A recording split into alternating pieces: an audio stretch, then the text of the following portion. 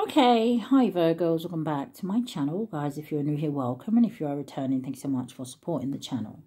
So it's going to be a message, a general message for my Virgos that are dealing with another earth sign, a Virgo, Taurus, or a Capricorn. Now, this is a general message, so it may not resonate with everyone. Just take what resonates for you, leave the rest. Anybody interested in a personal reading, my information is always down below. Thank you to those who do reach out for those, and thank you to those who donate to the channel. And for those of you who do subscribe, it's very much appreciated. So I do hope that everybody is well, okay? Cross watcher, if you're in here, feel free to flip the roles if you are dealing with a Virgo. But what do we have for my Virgos that are dealing with another earth sign? Thank you, Spirit. I'm going to get a card for now and a card for going forward. Okay.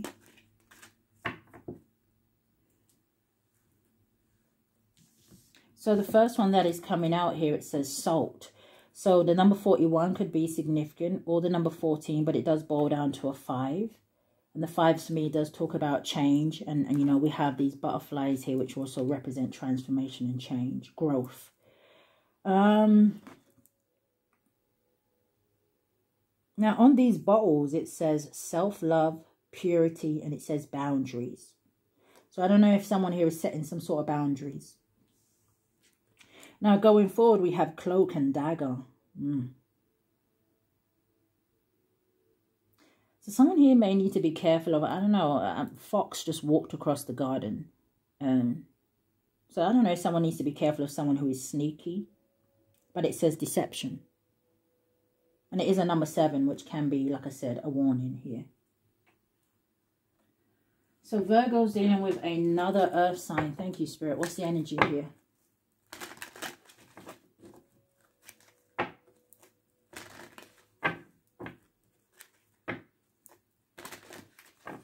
And, the, I mean, the two people on this card, they look pretty close, right? If this person is close enough to hug you. So show me more. What's the energy here, Spirit?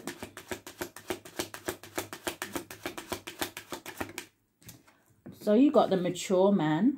And the mature man is also uh, a number five. So it could be a masculine here that is putting up some sort of boundaries, right? Or maybe you need to. Again, this energy of maybe you need to protect yourself here. There could be something going on in a court situation or with a marriage here. Uh, what's cloak and dagger?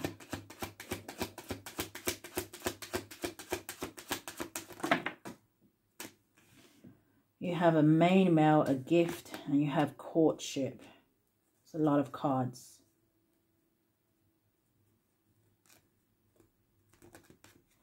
Make me feel like these are two different masculines.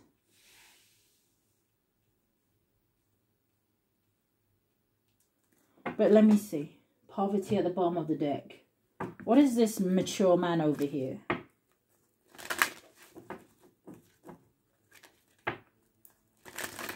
Do you know what I also see here? I also see somebody wanting to thank somebody for maybe exposing something or shining some sort of light on someone who was a thief or a liar or something like that. It's making me think of the Seven of Swords, liar, cheater, thief, right? Someone masquerading themselves as a friend, but they have underlying motives. What is this mature man? The mature man is the mountain. And the mountain talks about obstacles and blockages. Again, the, the word enemy here. What is this over here, Spirit? The bear. Hmm. Interesting, because I just saw the tower and now I'm seeing the bear card. And the bear card for me is like the emperor energy. So someone could be dealing with an Aries. Doesn't have to be. Or it could be a father figure. Or for some of you, I don't know if this has something to do with a child.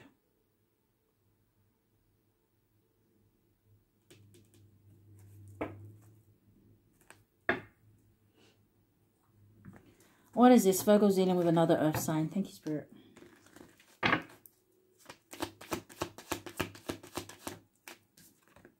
Yeah, what did I say? Look, Seven of Swords. Show me more. The Ace of Pentacles. So does this have to do with finances?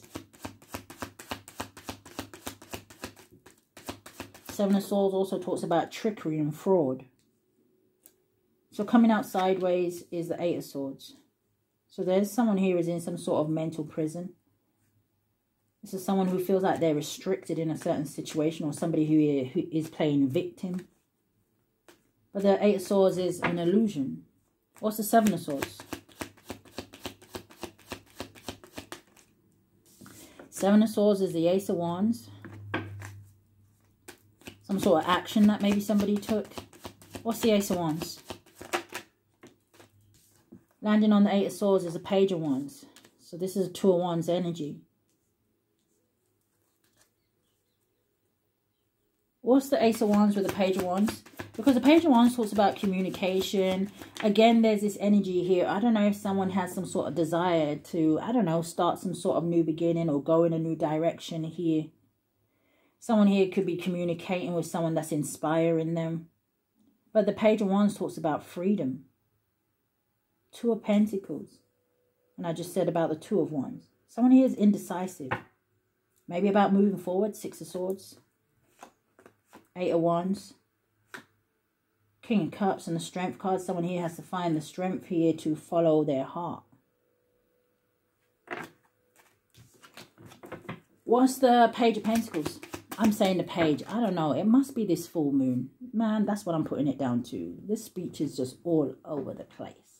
It could be Mercury retrograde as well, right? Uh, bear with me. What's the Ace of Pentacles?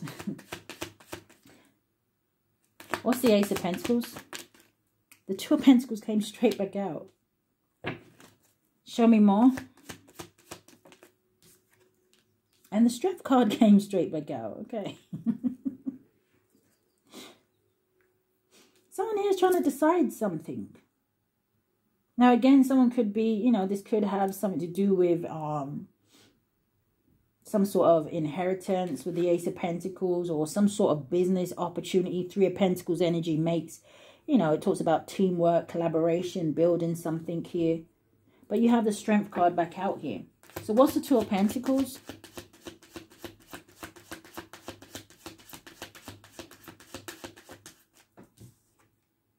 Three of Cups, celebrations, reunited, reconciliation. But again, this can talk about, you know, something creative. This is happiness, though. Friendships. Could be a friend that wants to reunite. What's the Eight of Swords? I just saw the Ten of Swords at the bottom of the deck with the Four of Swords. But this could be someone who betrayed you somehow. What is the Ten of Swords? What is the Eight of Swords? The Eight of Wands, yeah. So someone could be seeing the synchronicities 88. And then you have the Nine of Pentacles, though, coming in the reverse. Some of you could be dealing with another Virgo. It doesn't have to be. But the Nine of Pentacles in the reverse, it talks about fear and insecurity. Someone who lives above their means. So again, is this why the Two of Pentacles and Ace of Pentacles is out here? This talks about deception, lack of faith. Why is the Nine of Pentacles in the reverse?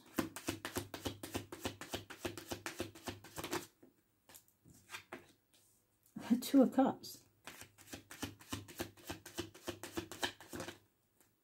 And the Nine of Wands. Yeah, definitely insecurities here. Nine of Wands is an energy of perseverance.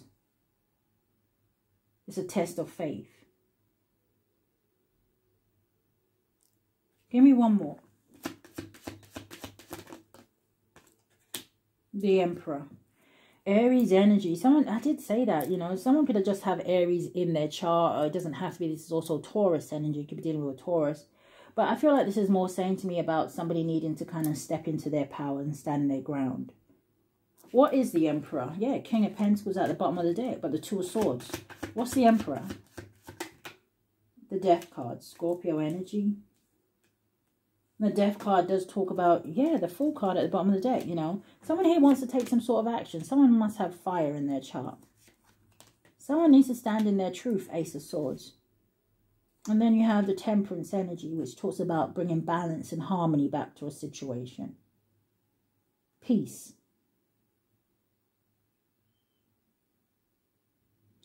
But I feel like with the Emperor and the Death card, this is an energy where, you know, like I was saying, endings bring new beginnings. Someone has to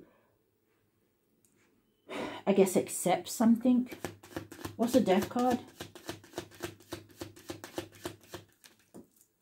Yeah, coming out sideways. There's a blockage.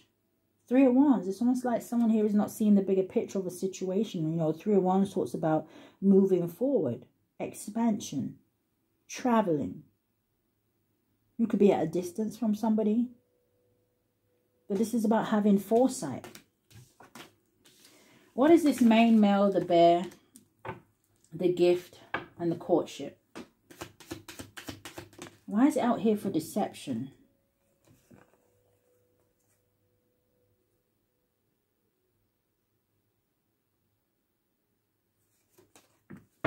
Show me more. The Wheel of Fortune.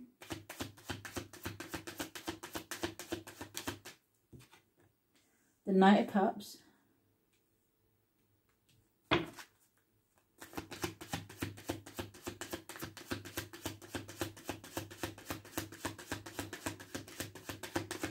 Show me more. Thank you, Spirit. The Eight of Swords. Landed on the Eight of Swords is Two of Cups. What's the Wheel of Fortune? The Hermit. Your energy. Seven of Wands. Yeah. Uh, I mean, I feel like, you know, with the Wheel of Fortune out here, it's a major arcana. It talks about, you know, um, it talks about fate and destiny, something that it is destined to happen here. But I don't know if someone here is fighting against something with the Seven of Wands. What's the Seven of Wands? Someone could be being very defensive. The Ace of Cups with the Eight of Wands. Or someone would have to fight for something. What is the Knight of Cups? The Ace of Swords landed on the Eight of Wands. So again, it's communication, clarity, truth. You have the Knight of Pentacles with the Ten of Pentacles. Slow and steady. This For some of you, I feel like this has something to do with... um. I was going to say generational wealth, but I wasn't necessarily thinking of money. I was thinking more like a, a legacy, a destiny. But there's hesitation here. Knight of Cups and the Knight of Pentacles. It just kind of feels like, I, I mean, I mean, this Ten of Pentacles could be saying to me, someone just wants to make sure that they're making the right choice, right? Is something going to last the duration of time? Is it worth me investing in? What is the Ten of Pentacles?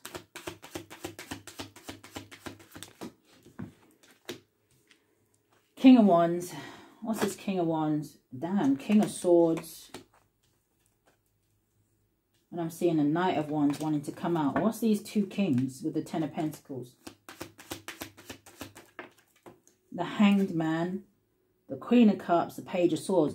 And th there could be something here, right? I don't... Do we have the Seven of Swords out here already? No. But I don't know if there is something here or there's some sort of delay or something is challenging when it comes to some sort of finances, right? What is this deception about? Or is this family members? There's a lot of people here involved in something. But it would say to me with the hangman and the page of swords out here that these are people that are stuck. But who are all these people? Or what is this?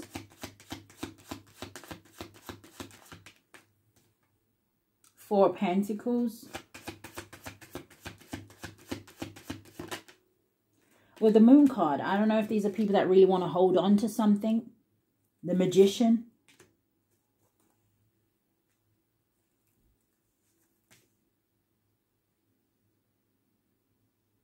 Okay, I'm just going to say, there could even be someone here who wants to be with the same sex as themselves, but maybe they're stuck with a Queen of Cups. What's this Two of Cups? The Ace of Cups.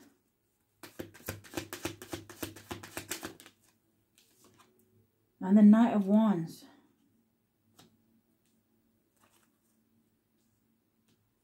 I really feel like that Knight of Wands wanted to come in the reverse. What's the Knight of Wands? This could be that someone's very passionate about another person or they want to rush in quickly to someone. Or there's something here, I don't know, about someone's sexuality or something. The Six of Wands. What's the Six of Wands with the Knight of Wands? The Three of Cups coming out sideways. The Knight of Swords. And the Four of Cups with the Chariot. And for others of my Virgos, there may be someone here who, I don't know if they could make up their mind or not with that Knight of Wands, right? Like I said, could be someone who just wants to, I don't know, sow their royal oats. But this is someone that maybe is going to see you move on and celebrate with somebody else. Three of Wands at the bottom of the deck, Seven of Pentacles, and they're going to kind of always be wondering about, you know, what if they had invested in you?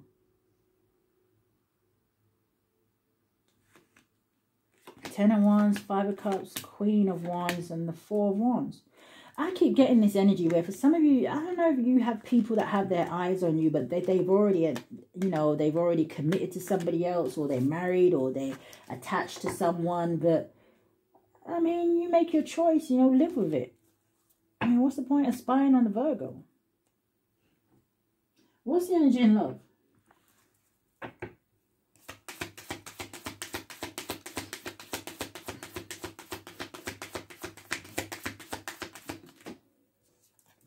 You have separation, sadness, missing you, thinking about you, yearning, unsure future. Okay. You have love. It says unconditional love. It says self-love, oneness, passion, affection, attraction. You have the sword and the rose, clarity, truth, revelation, solid, whatever that is, force, honor, protection, and power. And then you have Cupid's arrow. It says, have faith, love is coming, surprise, invitation, meeting, hesitation. And then you have keys on the ring. It says many options. It says decision, unconventional, string along, one night stand. It's like, I don't know if this is someone that knows what they want. You have the runner with the mask.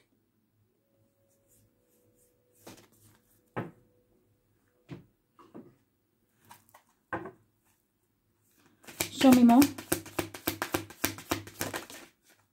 You have soul searching, exactly. It says needing to work on some personal issues first. In the reverse, you have in the upright, it says harmony. It says being in tune with each other and getting along. This may be someone who is with somebody or you may have a child with them, but this is someone who is not at peace.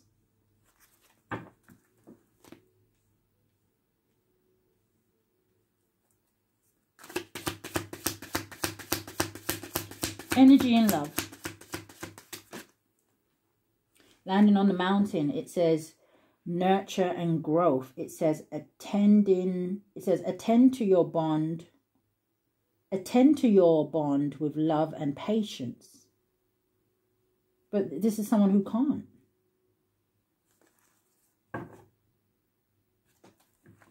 Show me more you have on the move. It says moving away or getting a new home together. So someone could definitely be thinking about relocating and moving. I don't know. Maybe, is this someone who thinks about moving in with you or moving closer to you? Someone could just be moving. Show me more. You have a leap forward. It says seize the moment and let yourself be fully loved. But again, you have baby steps at the bottom of the deck. I feel like someone desires this, but I really feel like they feel caged in a situation with the golden cage. Because it says break free from stress and toxic relationships. But show me more. Thank you. You have burning bright. It says stroke passion to keep the flames of love alive. But you see, with nurture and growth, it says attend to your bond with love and patience. It came in the reverse.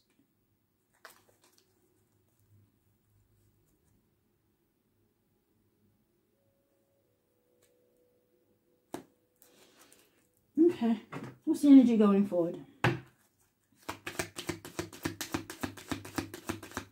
Virgo's dealing with another earth sign. Yeah, you got sweet memories at the bottom of the deck. But you also have coming out, it says the three fates. It says what comes around. So it's that energy of what goes around comes around. Uh, do you know what? I'm looking at this picture and there's three people on here, which for, again, for some of you, this may be a third party situation. You look like she's about to cut a string. I don't know if there's something to do with a cord cutting.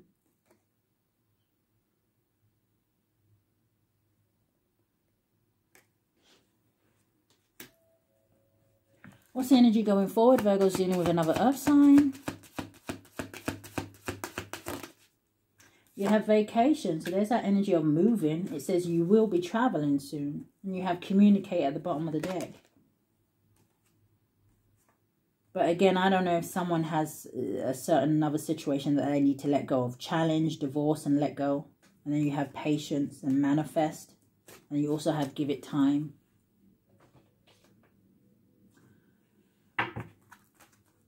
What does the earth sign not want Virgo to know, Spirit? You have recording. It says announcement, expression, and revealing. I don't know if someone's expecting here. But show me more. They don't want you to know that for some of you, they're recording you. Huh? Uh, you have keeping you a secret. Maybe they're watching you somehow in secret. You have don't want to hear it. Show me more. You have uh, watching shit go down. It says enjoying the gossip. Interesting. You have tantric sex. Now, I had to look up what that was the other day. Okay, anyway. One more, thank you, Spirit. You have bad choices. They don't want to hear that they've made bad choices or they know they made bad choices. Sometimes, you know, people just aren't ready to face their demons, you know. Virgos, that is what I have for you if you're dealing with another earth sign, a Virgo, Taurus, or a Capricorn. I do hope that something has resonated with you. If it has, I do ask that you hit the thumbs up for me, subscribe to the channel, hit that notification bell so you know when I upload. But if this is where we part, guys, stay safe. Love and light, Virgo.